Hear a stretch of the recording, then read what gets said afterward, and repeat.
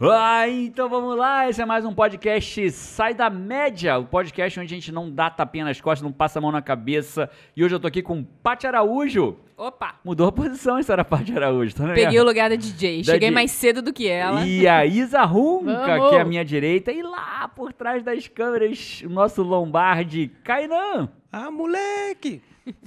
Vamos falar de que hoje? Hoje a gente vai trazer dicas de livros. Dica não, mais do que dica. Eu fiz assim, ó, a gente parou. É, vou abrir os bastidores pra você aqui. A gente tava falando assim, do que, que nós vamos falar nesse podcast? E a pessoa falou, Jerônimo, por que, que você não fala dos livros que mais mudaram a sua vida? E aí a gente investiu um tempo lembrando, investigando, relembrando. E eu notei aqui nove livros que, se eu não tivesse lido, eu leria novamente. Quer dizer, mas se eu não tivesse lido, não seria novamente. Eu, verdadeiramente, pô, alguns deles, inclusive, eu já li mais de uma vez. Todos eles interferiram na sua. construir, Claro. ajudaram a construir sua rota. O né? Jerônimo, que é hoje, teve participação desses nove livros. Vamos falar quais são os nove E eu livros? sou testemunha. Vamos falar, Testemunha. não, você que vai falar. Então, eu vou. Tá aqui a lista, na minha mesa. É tão real isso que a gente anotou a mão. Ó. Peguei a canetinha, fui anotando ali, os livros estão aqui. A gente vai falar pra você os nove livros que mudaram, que mais fizeram diferença na minha jornada de existência. Vamos falar disso agora. Solta a vinheta.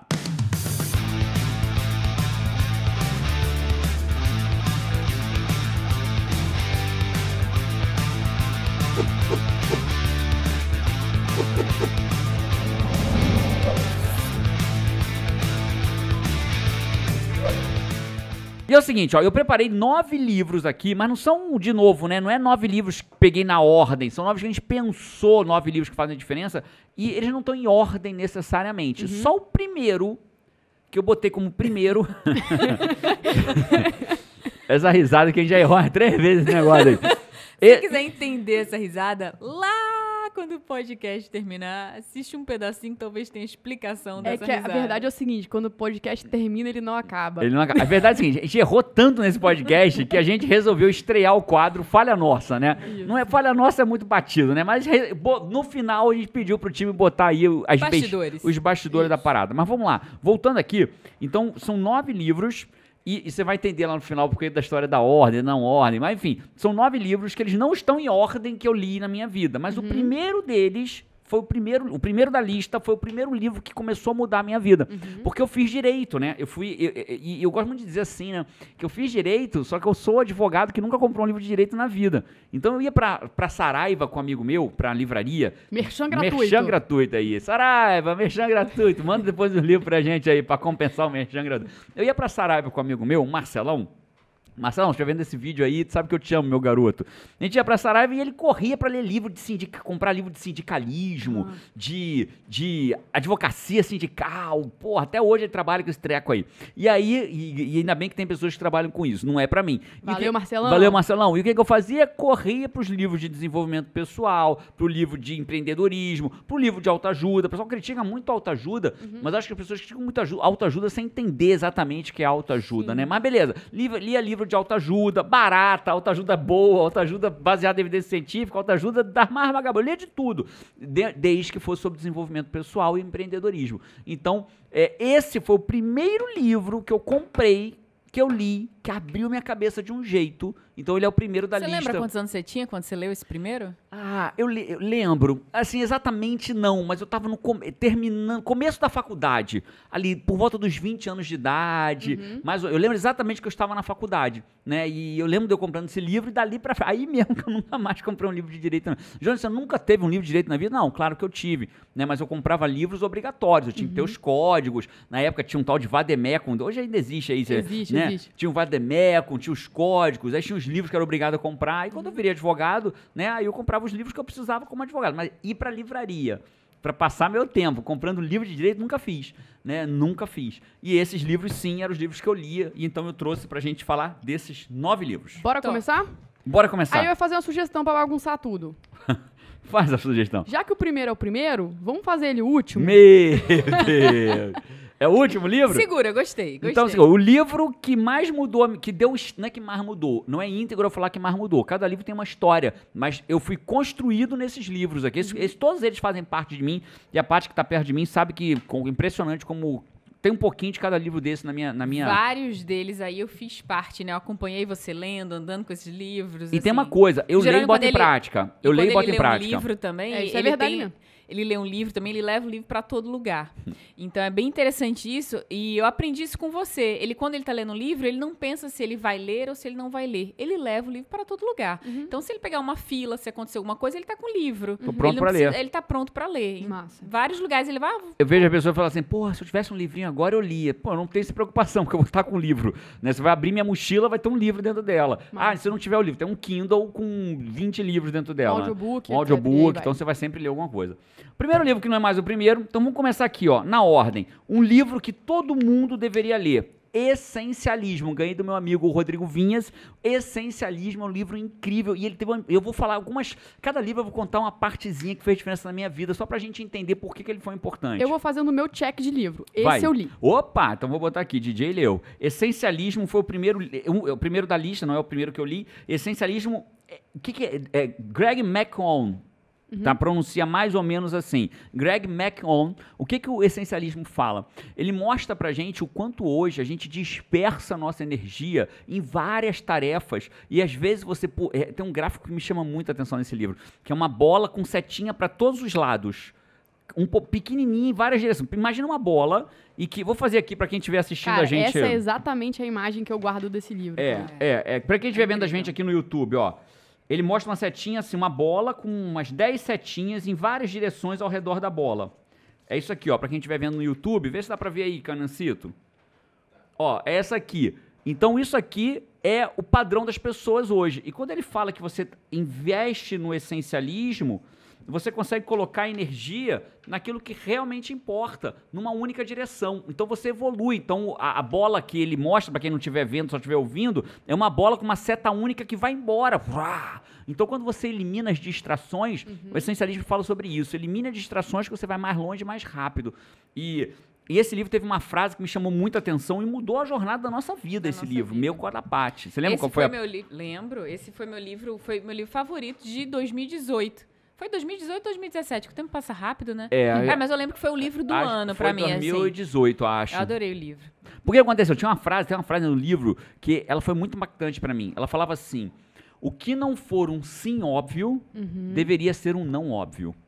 Olha que louco. O que não for um sim óbvio deveria ser um não óbvio. Eu virei pra Paty. A gente tava naquela época da nossa vida, a gente tinha decidido que a gente ia mudar o estilo de vida nosso.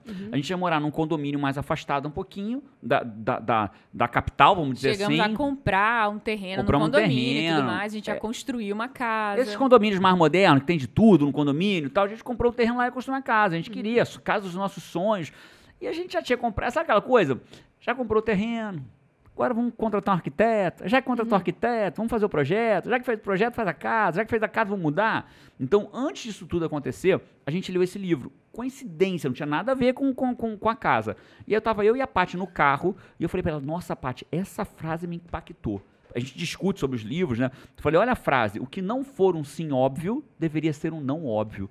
O que, que na tua vida hoje é um não óbvio? Eu perguntei Caraca, pra ela. Os dois falaram, a casa. A casa, mudar pra esse formato, pô, aqui é onde a gente vive hoje, né? Ah, é, junto com o IGT, a gente tá tudo. A gente tem vida de passarinho que a gente brinca, né? Eu levo a criança. A gente sai de casa às 7h10, às 7h25, já deixei as crianças na escola, tô dentro da academia, às 9 e pouca tô dentro do trabalho. Uhum. Então, assim, é tudo muito próximo, né? Logisticamente faz muito sentido, É. né? Então, e acho que. esse formato de vida ia mudar inteiro, não para melhor. É isso. Era uma então, baita dúvida. Eu acho que essa é a primeira pergunta que todo mundo deveria se fazer sobre esse leia o livro, mas é uma pergunta válida. O que não for um sim óbvio deveria ser um não Cara, óbvio. Todos hoje- nós temos coisas na nossa vida. Eu uso essa frase muito aqui no IGT para contratação, né? Eu, eu faço parte de, sei lá, 60% das pessoas que são contratadas passam por mim. Uhum. E, e essa frase tá na minha cabeça sempre, né? Tipo assim, cara, se não for um sim óbvio, vai ser um não. Deveria, ser, deveria ser um não. Uhum. Cara, não tem, essa, se essa pessoa não é um sim óbvio fica, trabalhar na nossa empresa, "Ah, então é um não. sei, tá bom. né? Isso vale- tal." deveria valer pra tudo. Casamento, ah, não tenho certeza, mas já que eu tô aqui, bom, quantas pessoas não namoram? Ah, namorou tanto tempo, o que, que vai fazer agora? Vamos noivar, né? Estamos há seis anos, seis anos namorando, vamos noivar. Aí noiva. Ah, agora que já que noivou, faz o quê? Casa, né? Casa, né? Agora já casou, Mora junto. mora junto, ou casa, ou mora junto, né? É, é, E aí vem a sequência da é, vida. É, ah, então agora vamos ter ou adotar uma, um filho, vamos, né? Tá no caso, É. tá no caminho, caminho natural, aí daqui a pouco tá aí, casado com um filho, porque simplesmente era o próximo passo natural. O que não for um sim óbvio, deveria ser um não óbvio. O próximo livro, ele é um livro, cara, ele é um livro que ele, ele serve tanto pra quem não tem nada a ver da linha do coaching, Mas para quem trabalha com desenvolvimento pessoal, com coaching, com psicologia, é o livro Inteligência Positiva do Shirzad Chamini. É um livro de o Essencialismo é um livro de capinha branca, Isso. né? Eu tava até olhando pra ver se ele tá ali. Tá até ali, na verdade, o Essencialismo. Mas deixa ele lá, não precisa mostrar não, você joga, depois você procura em quem quiser. Segundo livro é Inteligência Positiva do Shirzad Chamini. Show de bola. Ele é um livro, Livrão. inclusive, que a gente já fez um podcast inteiro praticamente falando sobre ele. Foi o podcast da Da autossabotagem. autossabotagem. Né? Então, depois, quem quiser ver, procura aí autossabotagem. Esse eu Conteúdo. também li. Põe um check. Opa, você tá demais, hein, sensacional. Ele DJ? falou, pô, check tá então, to- todo mundo empatado até Tamo agora. empatado ó, todo mundo leu tudo. Kainan, já não sei. Vou responder só no final. Tentando esperar um que ele tenha lido, né? Mais um podcast pro Kainan criar a lista de livro dele. Porque o Kainan, na verdade, tá no IGT há pouco tempo. Então essa não é uma verdade dele. É. Né? A gente tava falando um pouco antes de começar o podcast e, eu, e, e ele trouxe algumas sugestões, começaram a surgir sugestões de livros que não são de desenvolvimento pessoal. E eu falei, cara, eu li muito pouco livro. Eu só lembro de um livro específico que eu li que me chamou muita atenção, que, era do Sara, que é do Saramago, que é o Estudo sobre a Cegueira. Né? É, é, estudo sobre a Ensaio, cegueira, né? ensaio. ensaio sobre a cegueira. Ensaio sobre a cegueira. Então, assim, livro sensacional, realmente. Aí o Kainan abriu a caixa do, de Kainan, caixa de Pandora e caixa de Kainan. Aí ele começou a trazer vários livros, né, Kainan? Exatamente, aí o ensaio sobre a lucidez, inimigo, Saramago, grande, grande escritor. Grande Saramago. Saramago, inclusive, tem uma frase muito marcante dele que me chamou muita atenção, que foram chegaram pro Saramago e falaram assim, Saramago, o que, que você acha do Twitter, que é uma rede social que você só pode escrever com até 140 caracteres? Hoje em dia pode escrever um pouquinho mais. Ah, é? na Então época- ele- é, ele, ele- ele abriu um pouquinho. Abriu um pouquinho mais. Aham. Na época era 140 e ele virou e falou assim, o Saramago, falou assim, a, a humanidade caminha passos largos de volta ao grunhido. é, parceiro. É, pô, valia até um... tchá. É, varia aí, varia. com certeza. Mas beleza. Então, Inteligência Positiva, você já é um livro que fala sobre sabotadores. Então, o que, que ele fala? Ele fala de 10 sabotadores, o chefão e os, os nove ajudantes que sabotam a nossa própria vida. São características que os seres humanos têm e adquirem na sua, principalmente na primeira infância, que sabotam a gente, a gente nem percebe. E o pior, não é que eles sabotam, a gente acha que eles são nossos parceiros na nossa jornada e eles acabam sabotando. Eles nos ajudam, né? E ao contrário disso. É um livro técnico? Não. Todo ser humano pode ler esse livro. Mesmo que você seja, não seja coach, ou se você estivesse pensando em ser coach ou caminhando na direção de ser coach, inquestionavelmente você precisa estudar o livro. Já adorando as escolhas e a lista. É um baita livro. baita livro. Uhum. Livro 3. Livro 3. Livro 3 é a maior mentira de todos os livros que eu já li, mas foi muito útil pra mim. O livro chama-se Trabalhe 4 Horas por Semana, que é do Tim Ferriss. Pra mim, por que, que é a maior mentira, né? É, é porque, mesmo usando todas as técnicas que ele fala, jamais eu consegui, eu cheguei perto de trabalhar 4 horas por semana. Mas o livro Trabalhe 4 Horas por Semana tem uma coisa muito positiva. Qual é a positiva do Tim Ferriss? Ele ensina várias técnicas que eu uso na minha produtividade. Então, por exemplo, foi com ele que eu aprendi a técnica de compre horas. Ele fala que ele usa um assistente pessoal lá da, lá da, da Índia, né, ou, ou de algum lugar assim, que custa muito barato, 8 dólares a hora. Então ele, por exemplo, precisa comprar um presente para fulano. Ele manda para assistente pessoal dele, que compra e manda entregar na casa da pessoa. Então ele fez um, vamos dizer hoje, um, um WhatsApp, mandou para assistente pessoal dele, compra um presente para fulano, manda entregar nesse endereço tal, tal, tal, tal, eu quero um presente assim. Ele investiu 10 segundos no áudio e a assistente pessoal dele ficou 30, 40, 50 minutos comprando e mandando entregar, que hoje qualquer lugar do mundo você compra online e manda entregar na casa da pessoa. Sim. Então eu aprendi com ele o conceito de comprar horas. Então quer dizer que quem lê o livro vai trabalhar 4 horas por semana? Acho muito difícil, mas vai aprender muitas técnicas adequadas, positivas de produtividade. Não é um método Abre de a mente, produtividade. né? Abre a mente, assim. Esse, esse abre eu a não li. mente. Esse eu não li. Então, abre a mente. Acho que essa é a melhor palavra sobre o, o, o, o Shirzad Chamini no trabalho... Shirzad- Não. Errou! Do Tim Ferriss. Errou! Do Tim Ferriss sobre trabalho 4 horas por semana, pra mim é abre a mente. Show de bola. Não li. Kainan, segue no zero? Sigo no menos um agora. Zerou, zerou, zerou, zerou. Vamos lá, quarto livro. Esse quarto livro, ele também pode ser um livro técnico, todo coach deveria ler, mas ele não é técnico. É um livro do Charles Duhigg, ou do Higg, porque é H, dependendo da pronúncia, né? Do Charles, é, é, é, o, do, o, é, D-U-H, né? Duhigg, e o Charles Duhigg, ele escreveu um livro chamado O Poder do Hábito. O que, que o Poder do Hábito fala? Ele é um livro que ele fez vários estudos do hábito. Por que, que a gente faz o que a gente faz? Por que, que a gente não faz o que a gente não faz?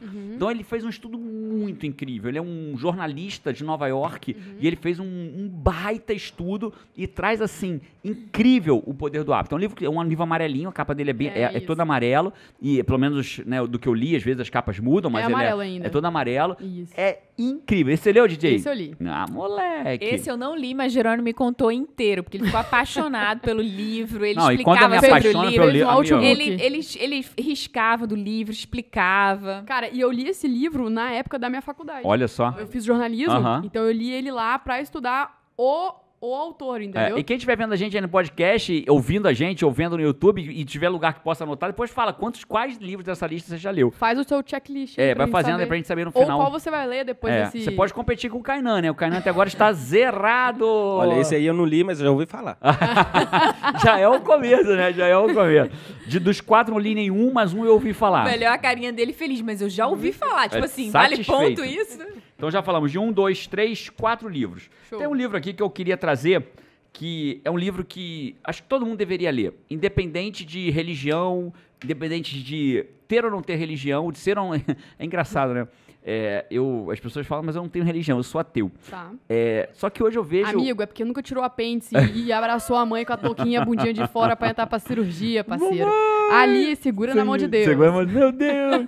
Mas eu acho que pra muita gente, o, o ateísmo, né, o ser ateu é uma religião. Então é engraçado, né? Pra algumas pessoas elas são, elas são ateu e tá tudo bem, mas pra umas ela é uma religião. Você olha a pessoa de perto, ela quer te convencer tanto quanto, é, é, não sei se você já teve a oportunidade de conversar com o evangélico que acredita no que faz, que está propagando a palavra de Deus, quer levar o evangelho a todos os quatro cantos, a todos os cantos do mundo, né? Então ele quer te convencer porque ele acredita naquilo. E o ateu acredita. Então ele, alguns São fés diferentes, são né? fés diferentes, eles só acreditam em coisas diferentes. Porque a verdade é que todo mundo chega num precipício uma hora. Se você acredita em Deus, como eu acredito, uma hora você chega num precipício e você se pergunta, será mesmo? E aí a única forma que você tem que ter é fé. Porque chega uma hora que você não consegue explicar. Você não consegue explicar. Tem coisas que você não consegue explicar. E você chega onde? Na fé. Em algum momento. Quando você vai pro ateísmo, quando você vai pro cara que é ateu, você vai, vai, vai, tem várias explicações. Mas chega uma hora que só tendo fé para explicar. Porque tem coisas que falam, não, mas isso aí é porque a ciência ainda não descobriu. Um dia descobrirá. Isso é fé. Né? Acreditar em algo que não existe ainda um dia se explicará. Isso é fé. Sim. Né? E quando a gente vira e fala assim, ah, mas Deus, não sei o que, mas você tem que acreditar. Isso é fé. Então mundo esse tem fé livro, esse livro é? a Bíblia. Eu verdadeiramente acredito que todo ser humano deveria ler a Bíblia. Novo Testamento, beleza? Se você, ah, Jerônimo, eu não sou um crente, eu não sou. O que, que eu leio? Lê o Novo Testamento. Lê a história de Jesus. Lê as parábolas. Cara, o- o- a Bíblia. é, eu gosto muito de falar o seguinte, né? É, e quem nunca já foi numa livraria e chegou lá e falou assim: comprou aquele livro ali. Por que, que você comprou esse livro? Não, porque ele foi 25 semanas número um do New York Times. E aí você fala, e a Bíblia? Nunca foi. Nunca foi porque não concorre. Porque se concorresse, ia aparecer lá, dois mil anos entre os livros mais vendidos do mundo. Sem cair no ranking. Sem cair no ranking, né? Há dois mil anos lá. Então a Bíblia nem que seja como um best-seller. E você Então, falou da Bíblia aí, a gente fez um podcast massa, né? Sobre Bíblia, ciência e sucesso. ciência dentro. a- a- é muito louco, né? A gente trouxe aqui um especialista, um pós-doutor, que, que é o Tiago, e ele falou pra gente várias coisas que lá na Bíblia estava falando, e hoje a ciência prova, dois mil anos depois que a ciência foi provar que aquilo que estava falando lá era exatamente o que acontecia. Então, resumindo, a Bíblia, todo mundo deveria ler. É uma lição de vida, é um manual pra nossa história. Se você não for ler por fé, leia por E é manual. Por impressionante manual, por como a Bíblia pessoal. ela é contemporânea, né? Os ensinamentos Nossa. permanecem A contemporâneos. parábola dos talentos, né? E, e isso e me toca muito, né? Quando eu leio, por exemplo, ali na Bíblia, só para dar um exemplo, um, como eu uso na minha vida? Por exemplo, tem uma hora que tem uma passagem da Bíblia que fala: a quem muito é dado, vocês conhecem essa passagem? A quem muito é dado, muito Será pedido, cobrado. será cobrado, cobrado, né? A quem muito é dado, muito será cobrado. E a interpretação ela tem que ser além disso, né? Não é quem muito é dado, muito será cobrado. Você será cobrado na medida do que lhe foi dado. Então, às vezes, as pessoas, às vezes elas interpretam mal, a quem muito é dado, muito será cobrado, e aí quem recebeu pouco fala, então me dê, porque eu recebi pouco. Não. O que pelo que você recebeu, você será cobrado pelo que você recebeu. E quando você passa a pensar nisso, né? Ah, Jerônimo, mas você vai ser cobrado, mas se eu não acredito em Deus, ninguém vai me cobrar. Sabe quem vai cobrar? A sua consciência. Porque em algum momento a gente chega lá na frente da nossa existência, da nossa jornada, e a gente olha pra trás e vê a merda que a gente fez na nossa jornada, se for o caso da pessoa. E aí quem cobra? A sua própria consciência. Aí você pode chamar de consciência, de Espírito Santo, de Deus, do que você quiser chamar Sua mãe. a sua mãe, mas uma hora você, voz da consciência, mas uma hora você vai olhar. Então a Bíblia, pra mim, é o 1, 2, 3, 4, quinto livro Quinto livro. que a gente, Na todo verdade, mundo é o deveria sexto, ler. porque o primeiro, que é o primeiro, a gente deixou por último. Não né? complica. É, DJ, é o quinto livro sugerido. O sexto livro sugerido. Esse livro aqui, eu vou te dizer o seguinte, Jerônimo. Ah, lá vem o jabá. Não é jabá. Verdadeiramente o que eu ouço de pessoas que me encontram na rua e falam, Jerônimo, o seu livro mudou a minha vida. Jerônimo, o seu livro fez toda a diferença. Jerônimo, eu virei a última página. Cara, Mas eu posso fazer uma pergun- uma Pode. pergunta? E escrever esse livro mudou a sua vida? Mudou. Produtividade para quem quer tempo, né? Esse livro, ele mudou a minha vida, DJ, por várias razões, né? Primeiro, porque foi meu primeiro livro de desenvolvimento. Eu já tinha dois livros publicados em direito, né? E esse foi meu primeiro livro de desenvolvimento pessoal. Foi, é, foi a comprovação de que o direito não fazia mais parte de mim, essa é nova, nova, nova história que o livro de produtividade. Segundo, que é um livro que as pessoas falam para mim, Jerônimo, eu ouço você falando. Eu leio o livro, eu ouço você falando, que eu fiz questão de escrever. A gente sabe que hoje muitos autores usam a técnica do ghostwriter, o que é muito normal e não tem erro nenhum nisso. Como o cara não tem habilidade de escrever, alguém escreve por ele. Eu, eu faço questão de escrever. O segundo livro eu estou escrevendo agora, eu estou escrevendo meu segundo livro. Claro, com a ajuda de editor, né, que lê e vê se não tem erro e tal, mas eu estou escrevendo. Então foi, foi muito legal. Foi, Ele é gostoso de ler, assim, porque realmente tem esse jeitinho, do jeito que você fala, né? Assim. É, e uma das fotos mais marcantes que eu tenho com esse livro de produtividade, né, é meu filho, com ele tinha uns 5, 6 anos de idade, e eu vou de noite, eu tô, eu tô, indo, eu tô andando pela casa e vejo uma luzinha no quarto dos meus filhos. Eu falo, cara, que luz é aquela? Aí eu vou, vejo um lençolzinho com uma lanterninha. Meu filho de 6 anos, João, tá lá com a lanterninha de noite lendo o meu livro, provavelmente não entendendo nada, né, mas estava lá lendo o E livro. só pra também. registrar, qual é o nome do livro? Produtividade para quem quer tempo. Um livro é um método de produtividade que ele fala de vida, de como que a gente produz mais, como que a gente organiza o nosso dia. É um livro muito legal. É um excelente primeiro passo para quem um dia vai ter uma produtividade nível A. Sétimo livro. O nome desse livro, o nome da autora é Brené Brown. A Brené Brown, ela fala de coragem de ser imperfeito. Esse livro é. é Acho que é pior- a coragem de ser imperfeito, é coragem de ser imperfeito. é Brené a Brown. coragem de ser imperfeito. É, o que, que a Brené Brown fala? De vulnerabilidade. Uhum. Vulnerabilidade é, é- cara, é força, né? As pessoas acham que vulnerabilidade é fraqueza, é mostrar onde você é vulnerável. As pessoas crescem no mundo corporativo, principalmente, é, que é- muitas vezes o mundo corporativo, em algumas empresas, é uma selva. Né? E como selva, o cara se defende. Como que ele se defende? Você sabe como é que um, um animal que na cadeia alimentar ele não é predador, ele é presa? Sabe como é que a presa se defende, Ah, eu DJ? lembrei exatamente disso. Lembrei de Sebastião. Sebastião, nosso, nosso papagaio que faleceu. Não, ele não se camufla, ele esconde a doença. Ele esco... Alguns animais são presos, por exemplo, o papagaio. Ele morreu de repente, o nosso papagaio. Era um- A gente chamava ele de papachorro, porque ele vivia solto pela casa. Ele ia atrás, ele era apaixonado por mim. Eu chegava em casa, ele. Ah, ah, ah, ele balançava a cabeça, pulava, vinha em cima de mim, voava pra mim. Então, que ele vivia solto na casa, né? Então, ele era nosso papachorro. Ele andava, só que ele, ele. Acho que ele aprendeu a andar mais do que voar. Mas ele não aprendeu muito a aterrissar, né? É, ele, ele- ficava Ah. assim, tentando acertar ali o voo e, É, ia ia e batia, caía É. no chão, e ele andava pela casa inteira tal. E aí a Isa às vezes estava na cozinha, ele subia na máquina de lavar e ficava olhando pra ela. Era solto na casa, era um papachorro. E ele faleceu, morreu numa hora ele fez puf, caiu no fundo da gaiola. De uma vez, não foi assim, ficou num cantinho, ele pá, caiu no fundo da gaiola. Eu fui estudar o porquê que papagaios morrem de repente. E num dos estudos que eu fiz, eu entendi que falou o seguinte, cara, não é que o papagaio morre de repente, ele tá doente, ele tem uma lesão que ele esconde, porque na natureza, como ele é uma presa, ele esconde que ele tá doente Tá. para não ser uma- um alvo fácil. então tá. ele tá ali às vezes com uma hemorragia interna ou com uma lesão, E ele não demonstra. não demonstra para poder. Então o que acontece mercado corporativo, né? Mercado tava- corporativo, muitas pessoas não mostram sua vulnerabilidade para não ser engolidos pelo colega, ou pelo outro gestor, ou pelo líder. E aí o que acontece? Acha que vulnerabilidade é feio, acha que mostrar fraqueza é feio, Uhum. né? Quando na verdade vulnerabilidade é força. Uma frase que me traz muito do livro É da força, Brené Brown. é pra gente um valor aqui no É IGP. inspiração. É inspiração, é bater no peito, né? Dizer, pô, cara, realmente, cara, não sei fazer isso, mas eu vou estudar, eu vou resolver e tal. A coragem ser perfeita, a frase que me pega muito é só quando você tem a coragem de olhar de, de frente para as suas sombras, é quando você consegue exercitar a potencialidade máxima da sua luz. Então isso é muito forte para mim. Só quando você olha de frente para suas sombras é que você exercita a potencialidade máxima da sua luz. Tem algum, do- algum podcast que a gente fala da síndrome de Dunning-Kruger, né? Então quem quiser voltar lá, que é um podcast sobre produtividade, sobre, Isso, sobre os níveis níveis de de produtividade. produtividade. E aí, na- no, no Dunning-Kruger, é, é o oposto da vulnerabilidade. O cara não quer mostrar a vulnerabilidade dele, ele acha que ele nem tem aquela vulnerabilidade, e aí ele tem a síndrome de Dunning-Kruger, que é o oposto disso. Mas resumindo, ser vulnerável não é fraqueza, é força. Então, o sétimo livro é Coragem de ser imperfeito. Nesse livro eu acho que eu empatei com o Kainan, porque esse eu não li. Kainan, Mas, quantos você leu Olha, até agora eu desses acho todos, que Kainan? empatar é Olha. muito forte. Não, empatar neste item, porque eu já li vários de Ah. antes. Neste item, deste Tá livro. explicado. Oh, tem um olha negócio só, aqui. sobre a lista eu tenho que falar. Eu tenho que falar duas coisas. Uma que eu não li o livro do Jerônimo, não me manda pro RH, por favor. e outra que, olha a surpresa, a Bíblia sim eu li. Por incrível que pareça. Aê, salva de Muito palmas.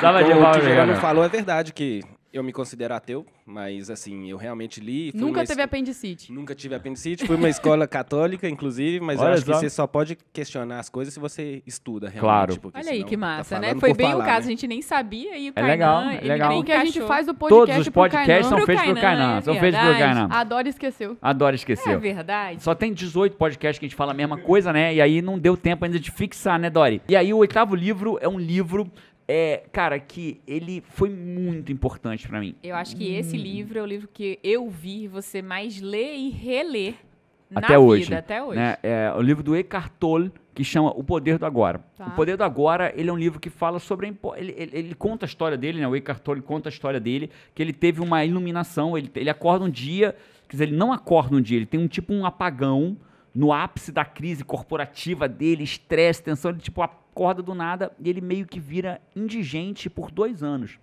Perambulando pela rua. Posso estar errando dois, pode ser um, mas foi assim, mais de um ano ele vira indigente andando pela rua, né? Depois daquilo. E ele passa a pregar o que? O poder do agora, o poder de viver no presente, o poder de- do, fim da ansiedade, você viver no futuro, viver no passado, né? Mas e viver o presente agora, né? E ele fala do poder que é viver o presente, o poder de estar no aqui e agora. E para mim é um desafio, né? Sendo vulnerável, para mim é um desafio, porque eu vivo no futuro.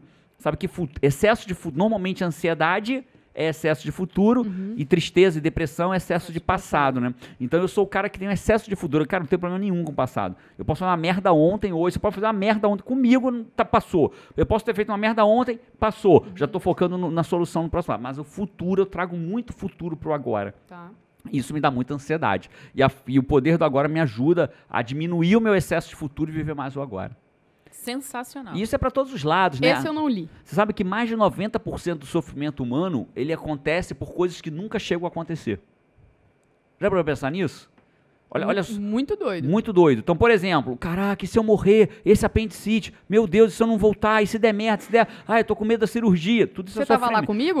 Porque eu pensei exatamente Isso isso. tudo é sofrimento. sofrimento por algo que Nem não aconteceu. E isso é na vida. Nosso filho fica doente, fala, meu Deus, e se for sério? A gente tá passando agora recentemente, Carol com 39,5 de febre, foi a febre mais alta da vida dela, um CD, ela tomava remédio, baixava pra 38,6. Nossa. Fala, meu Deus, o que, que é isso? E quando você começa a duvidar do fluxo e Uhum. olhar para o futuro, falar, meu Deus, o que, que ela pode ter? Você está sofrendo pelo presente ou pelo futuro? Futuro. Pelo futuro. O presente ela só tá com febre. Uhum. A febre é só febre, né? Mas se essa febre for tal coisa, futuro, você não sabe, né? Então, E maior se a gente se aprende a se ocupar do presente, você resolve tudo que você pode resolver ali. É isso, porque Da eu- febre do presente. Porque o teu foco né? é E na ação e não no resultado. A sua foco é na ação. O que eu posso lidar do- é com a febre dela, mas eu não posso lidar com o que pode ser a febre dela ou ficar elucubrando. Né? A gente aprendeu, você não faça isso com o teu filho, consulte o seu pediatra, mas a gente aprendeu com o nosso pediatra, com os estudos que eu fiz, que até o terceiro dia de febre, se a criança tá inteira, tá, é, não tá morgada, Prostrada. prostrada, se ela tá com o estado geral dela é bom, você não precisa nem levar no hospital, porque é febre é febre. A febre só vai Ciclo de uma gripe. de uma né? gripe, do terceiro pro quarto dia, que a febre normalmente se diz o que é. Então ela estava no estado geral bom e a gente estava em casa. Só que esses três dias, se eu ficar pensando, meu Deus, será que no quarto dia vai, Vai. melhorar ou vai piorar? Porque normalmente a febre, quando chega no quarto dia, se é uma coisa mais séria, ela tende a piorar. Se ela, mas, de novo, isso não é um podcast de medicina. procure o pediatra. Na dúvida, procure o seu médico. Tô falando que nós fazemos lá em casa. E Tá. nós não levamos a Carol para o hospital. E hoje, hoje, literalmente, é o segundo pro terceiro dia. É, e e, a tá febre melhor. dela E ela cedeu. tá E, agora já está dentro, seguindo o protocolo. E só que se eu vivesse o futuro, pensando o tempo inteiro na doença, o Uhum. que, que pode ser, meu Deus, se for mais sério, eu vou ter sofrido por um monte de coisa que nunca, Nem- chegou, nem nunca chegou a acontecer. Então, Então, esse é o poder do agora. o poder do agora, esse é o Cara, oitavo livro. chegamos então, finalmente, no primeiro de todos. Que é a o último, mas é o primeiro. final. É o primeiro que é o primeiro. É o primeiro que ficou por último, por indicação da Isa. É, é Cainancito. Agora vai ficar todo mundo com raiva de mim aí. Me fez ficar até final pra ver se vê. Se a gente tirasse a Bíblia, quantos você já leu? Hum, deixa eu fazer as contas aqui. Vê aí na sua listinha. Hum, zero. Zero.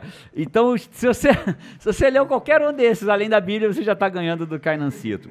Cara, eu entrei uma vez numa livraria, numa dessas que eu fui, talvez com o Marcelão ou não, não sei dizer se nessa eu estava com o Marcelão, né? Marcelo Menezes, meu grande amigo. E nessa vez eu olhei e vi um livro assim que me chamou a atenção. O nome do livro era sobre empreendedorismo, sobre grana. E, e acho que quase todo mundo aqui já sabe que a minha infância, juventude, primeira parte da, da, da idade adulta, ela, eu dormia num colchonete, literalmente. Né? E eu tenho muito orgulho disso. A história do meu pai, que era trabalho, né? a gente dormia todo mundo no mesmo cômodo. E, e eu lembro que eu dormia segurando o pé do meu pai, ele dormia de meia, eu segurava o pé dele. Né? A minha mãe dormia pro lado que eu, na minha cabeça não tava, né? A minha cabeça ficava pro lado, eh, vamos dizer assim, da geladeira. E o meu pai dormia desse lado da cama. Então a minha cabeça, eu pegava o pé dele, né? Ele me acordava às quatro e meia da manhã abrindo a geladeira para fazer as coisas do café da manhã dele. E a gente dormia todo mundo ali. E eu tinha uma infância que não era é, é, a, a melhor para ser vivida no aspecto financeiro. E eu queria mudar aquilo ali. E eu passei ali um livro que chamava assim: Pai Rico. Pai pobre. E eu fu- fui lá, dei uma folhada e falei, cara, que interessante. Esse livro é um daqueles que eu engoli. A parte sabe que quando eu gosto de um livro, fico obstinado pelo livro, vai pra tudo que é lugar, eu anoto. Eu engoli Pai Rico, Pai Pobre, Robert Kiyosaki, né? Eu engoli o livro e ele foi o primeiro livro que me chamou a atenção. Cara, e, e por que, que esse livro mudou tanto assim a sua vida, cara? Porque é, o que acontece, né? Ali eu cresci num ambiente como meu pai e minha mãe, meu pai sempre dizia o que pra mim? Meu filho, meu filho quando crescer vai ser médico ou advogado. O que, que ele estava em busca? Da segurança. Ele estava em busca do que ele não tinha. Ele estava em busca, ele queria pra mim o que era bom pra ele, isso é amor. Né? Isso, não é, isso não é maldade, isso é amor. Só que ali eu percebi quem era o pai rico, quem era o pai pobre do livro. Um, um pai não tinha tido todos os estudos e o outro pai era pós-doutor de uma faculdade, fez todos os cursos, era professor universitário com emprego estável. Né? E, na verdade, o pai biológico dele era esse professor. E o pai do amigo dele era esse cara que era um empresário e tudo mais. E ele aprende, e ele conta as lições que ele aprendeu com o pai dele biológico, que queria pra ele a mesma coisa que ele, segurança, rotina, tradição, né? O que, que é o sonho de quase todos os pais? Que o filho passe num Concurso. nossa, concurso público, né? Muitos pais querem que o filho seja médico porque médico vai sempre ter um emprego, vai sempre ter uma condição. Então, ali eu percebi claramente que existiam outros caminhos. Ali eu percebi que existiam outras possibilidades, né? Por exemplo, empreender. Jerônimo, empreender ter seu negócio? Não. Empreender você remunerar a sua paixão. Eu entendi que eu poderia remunerar, viver de remunerar a minha paixão, né? É muito legal, eu gosto muito de falar disso, né? Porque a gente às vezes vive é, é, é, a síndrome do, da vergonha da CLT. E eu, eu falo isso com muita força, porque eu tenho, eu vejo vários vídeos que as pessoas é, é, é, endemoniam você ter um emprego. É como se você tivesse um emprego você fosse um merda. Por que, que seu sonho é um merda? Porque eu nunca tive meu negócio. Porque se eu, se eu fosse foda, eu teria meu negócio. E isso é um absurdo. Por quê? Porque você ter, ser dono de uma padaria não te faz um empreendedor que remunera a sua paixão. E, e- e quando você fala em remunerar sua paixão, umas pessoas vão remunerar sua paixão tendo seu próprio negócio, outras pessoas vão remunerar sua paixão sendo empregados de um negócio, outras pessoas vão remunerar sua paixão é, sendo voluntários de um projeto social viajando pelo mundo. Então, remunerar a sua paixão não tem a ver com ter ou não ter seu próprio negócio. Aí o cara não tem menor característica de empresário. Eu vejo isso acontecer. Né? Isso acontece, inclusive, no IGT, que a gente promove a pessoa a remunerar a paixão dele. Tomara que o IGT dê a ele os caminhos para ele permanecer remunerando ele a sua paixão. os talentos, né? Pra ele ter realização E naquela área que alguns, ele gosta. e alguns acham, acreditam que preferem fazer lá fora. E a gente honra essa história da pessoa. E às vezes o cara sai e vê que não era o que ele queria. Porque os desafios de você to- acordar um mês e ter que fazer o seu próprio salário acordar, e remunerar as outras pessoas e ser líder de, de um monte de pepino não era o que ele queria para a vida dele. Então a gente sabe que essa jornada é, é, é- é um, é um jogo naquilo ali. Você vê hoje, cara, você vê hoje CEOs que são empresa- empregados de multinacionais Sim. que o cara ganha. é, eu tava conversando uma vez com um cara que não era, de dinheiro. não era nem CEO, ele era um abaixo de CEO, era Ah. um tipo um vice-presidente, e ele num bônus de um ano que ele ganhou, de uma meta que ele bateu na empresa multinacional dele, ele ganhou mais de um milhão de reais de bônus. Tem empresário que passa a vida inteira, montou um negocinho achando que é esse o ápice da parada e nunca, nunca fez um milhão na vida dele. Né? Então, assim, não existe É, isso. não remunerar existe a paixão. regra única, não né? existe. Não existe regra única, caminho único. É, é isso, é remunerar a paixão. Não existe. O caminho do sucesso é você ter o seu negócio. Eu acho que o caminho do sucesso é você exercer as suas, seus talentos, suas habilidades, que você vai se sentir feliz fazendo isso. A quem Vai muito é sentir- dado, muito será muito será cobrado. cobrado. O que lhe foi dado, você prestará contas disso. Então, o que, É que, o que, que você me perguntar? O que, que é. O que que, você gosta de fazer, você sente prazer em estudar, em buscar livros sobre aquilo, em Fica assistir tudo mais documentário fácil, sobre né? aquilo. Fica tudo É mais fácil e aí você evolui sem nem perceber, né? Você tem motivação pra evoluir. Ó, se você curtiu os nove livros que mudaram e contribuíram pra vida do Jerônimo. Já avalia o podcast, coloca cinco estrelas. Esse é um tema que muita gente pedia, indicação de livro de Jerônimo. Então já avalia o podcast com cinco estrelas. Também já se inscreve aí no nosso, nos canais que vocês estão escutando, seja de áudio ou de vídeo. Isso aí. E se por um acaso isso fez diferença na tua vida, gostou do livro, encaminha, compartilha. Eu acho que a forma mais carinhosa que você pode ter comigo, com a, com a Paty, com a Isa, com o Kainan, é você compartilhar esse podcast e com a pessoa que vai receber. Fala, cara, vê esses livros aí que legal. Acho que vale a pena ser lido. Né? Então, essa forma, compartilhar, eu acho que é a maior prova de amor que você pode dar por nós e pela pessoa para quem você está enviando esse podcast. Boa. Até porque ela vai chegar aqui e vai ouvir isso. Então, ela vai ficar feliz de saber que você compartilhou. Fechamos? Fechamos. Fechamos. Fechou Então- não, peraí, agora que... Nove Ah. Agora que entrou um Então. livro na minha lista, ninguém me perguntou nada. Mentira! Pai rico, pai pobre. Cê- cê- mentira, mentira que você Tô leu. lendo ele nesse momento. Nesse momento, ó, É. salva de! Tem uma dúvida, você pegou na IGTeca? Não, não, recomendação da minha mãe, que já leu. Olha assim. só, Olha, olha mamãe do só. Kainan. Kainan se salvando no final. É, o que seria IGTeca para quem está lá ouvindo a gente agora? IG... A quer... biblioteca do IGT. A gente tem um, um- espaço que a gente deixa, traz livros e deixa aqui no IGT disponível para quem quiser pegar, Inclusive, levar, vários enfim. desses estão disponíveis. EPP é um valor nosso, né? Então, quem. E a gente enfim, vive os A valores, gente né? vive os valores. Então, a gente, enfim, traz treinamentos pro time, disponibiliza os nossos treinamentos pro time, tanto que a- a Isa aqui é coach criacional. É, e tem a IGTeca. Vários são awakers, né? Vários fizeram Vários WA. Né? Às vezes a pessoa faz o WA sentadinha, né? Nosso colaborador, sempre que a gente pode, sentadinho ali. Ou faz por osmose mesmo. Ou faz por homose, né? De tanto ir, né? né, Kainan? Show de bola. Kainan se Não é? salvando no final. Salvando no final. Esse foi mais um podcast com Jerônimo Temer. É nóis. A Isa Runca e Vamos. Pátia Enxerida, que fez o final do podcast. E lá pelo lado de lá tem Kainan. Kainancito. Jogando pela direita. A gente se vê por aí ou no próximo podcast. E Vamos. vamos. Vamos.